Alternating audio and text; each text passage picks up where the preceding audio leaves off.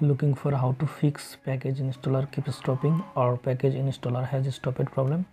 In this video i show you how to fix package installer keep stopping or package installer has stopped problem. For solving this problem go to settings then click on apps apps management. Now click on app list. Now click on three dot or two dot menu. Now click on show system app now find package installer. Click on package installer. Click on storage. Clear data. Okay. Now restart your phone. I hope that this method fix package installer keeps dropping problem. Thanks for watching